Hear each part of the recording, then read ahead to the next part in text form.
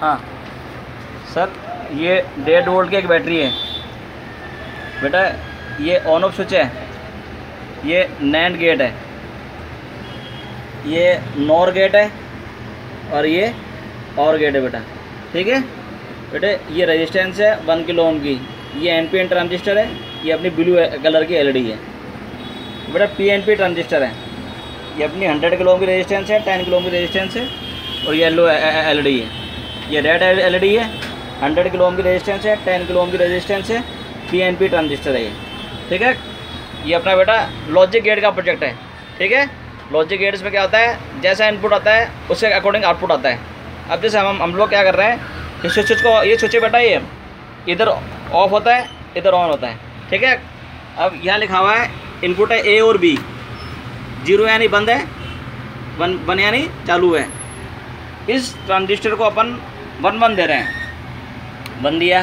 दोनों अगर वन है तो बेटा और ऑन हो जाएगा। कोई एक वन है तो और का आउटपुट आता है। दोनों ज़ीरो है तो आउटपुट में ज़ीरो आता है। दोनों वन है तो भी आउटपुट वन आता है। कोई एक वन है तो भी आउटपुट में वन आता है। ये है और।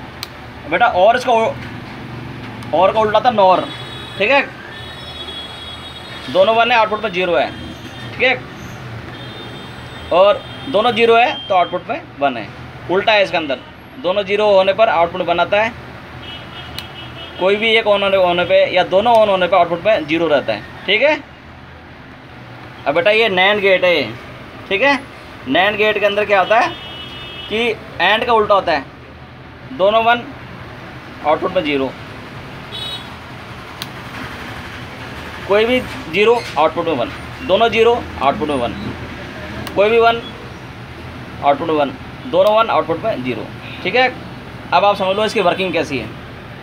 तो बेटा, ये थ्री वोल्ट सप्लाई है, इसे पॉजिटिव यहाँ से यहाँ आया। ये पॉजिटिव को अपन चाहते हैं, इधर ऑन हो जाएगा, इधर ऑफ़ हो जाएगा। ठीक है बेटा? अब ये यहाँ से गया इधर पॉजिटिव जा रही तो ध्यान से रखना आप। ये यहाँ से पॉजिटिव इस पर गया, ये पॉजिटिव इस पर गया। अब मैं समझा रहा हूँ और आपको। ठीक है? बेटा, यहाँ पर ट्रांजिस्टर वर्क कर रहा है एज ए स्विच अब आप देखो वायरिंग वायरिंग वायरिंग देखेंगे तो कोई भी वन हो, जाता है।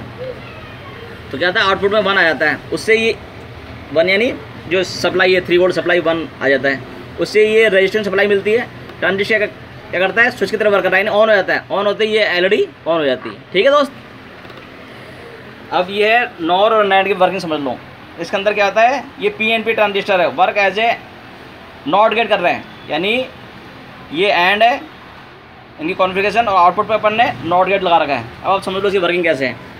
इसकी वर्किंग ये ऐसी है बेटा कि ये जो है स्विच है स्विच से पॉजिटिव मिल रहा है। रजिस्टेंस है टेन किलो ओम की और नेगेटिव मिल रहा है हंड्रेड किलो ओम से। अगर कोई भी ज़ीरो होता है, देखना अब आप। तो क्या होता है, इस ट्रांजिस्टर को पॉजिटिव मिलना बंद हो जाता है और नेगेटिव मिलता रहता है। क्योंकि हंड्रेड किलो ओम की रेजिस्टेंस की वैल्यू टेन किलो ओम से ज़्यादा होती है। नेगेटिव सप्लाई मिली नेगेटिव मिलते ही ये ट्रांजिस्टर ऑन है, इससे ये एलईडी हरदम ऑन रहेगी। जैसे वन मिलेगा पॉजिटिव सप्लाई मिल जाएगी टेन किलो के द्वारा। तो इससे क्या होगा पॉजिटिव जो सप्लाई मिल गई, वो टेन किलो की रेजिस्टेंस कम होती है हंड्रेड किलो की ज़्यादा होती है। तो पॉजिटिव सप्लाई यहाँ पहुँच जाएगी ट्रांजिस्टर ऑन हो जाएगा, जिससे ये एलईडी ऑन हो जाएगी। इसी के प्रकार सेम टू सेम वर्क कर रहा है बेटा, अपना नैंड गेट ठीक है? ये अपनी वर्किंग है, किसकी? लॉजिक गेट्स की एंड और नॉर और नैंड की। ये दो, दो दोनों गेयर कौन से बेटा? नॉर नैंड और और ठीक है?